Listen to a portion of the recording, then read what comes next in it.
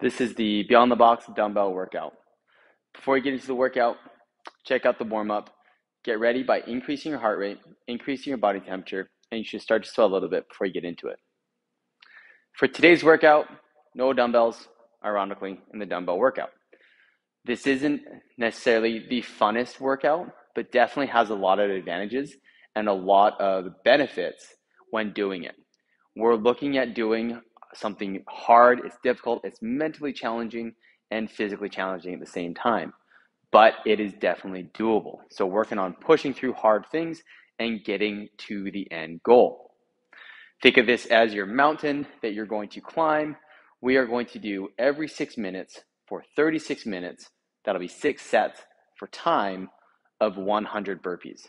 So in every six in six minutes, you will do 100 burpees or as many of those burpees as you can in six minutes.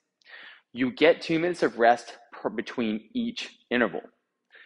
If you are not able to get all 100 of those burpees done in that six minute time frame, then look at scaling down your number of reps. So if you can't get, if you end up at in, in between 90 and 100, drop it down to 90 so that you can get that get those reps in, or drop it down to 80 but depending on how that first round goes is going to tell you what you're able to maintain across the other five sets. So if you only end up getting 80, 80 reps in set number one, then that should be your focus to maintain consistency and maintain get 80 reps every single time you complete an interval. And it'll go vice versa with any number that you maintain. Set your set the uh, precedent with round number one, and then after that, do as keep it as consistent as possible. Let's look over the standard for the burpee. The burpee is a standing position, going down to the floor, chest and thighs make contact with the floor, and then you're coming back to a full stand. Typically, when we do the burpee, standing nice and tall, I'm going to bend over, place my hands on the floor, drop my legs and chest down to the floor, making full contact, and then from here, I'm going to press back up, jump my feet forward, and then I'm going to get a little bit of a hop and a clap to get back to that nice tall standing position, showing full extension right here.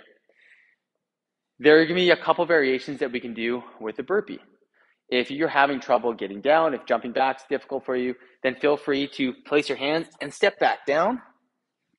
You can jump forward, jump up, or with a step down, you can step up.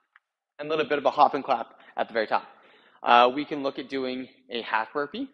So half burpees. If we need scale, drive down, stay with, keep with your arms nice and straight, jumping feet forward, nice clap and, top, and jump and clap at the top, full, show that full extension.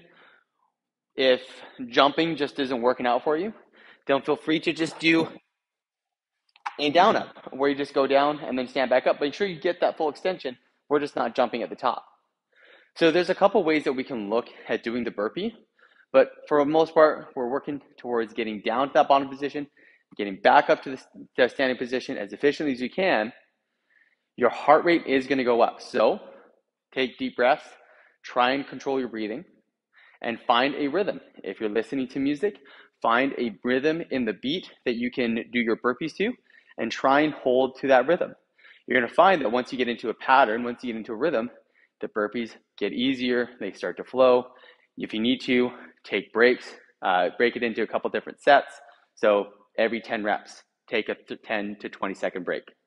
Um, every 20, every 30, whatever you need to do, or heck, if it needs to be five, or if you just need to just take a take a couple deep breaths after every burpee, that's a rhythm, go for it. Do what works for you. And like I said earlier, round number one is going to tell you what you can maintain. So do round number one, do it as best as you can, and then whatever number you get, try and stay consistent to that number and try and match it or beat it every set after that. Get after it and have fun.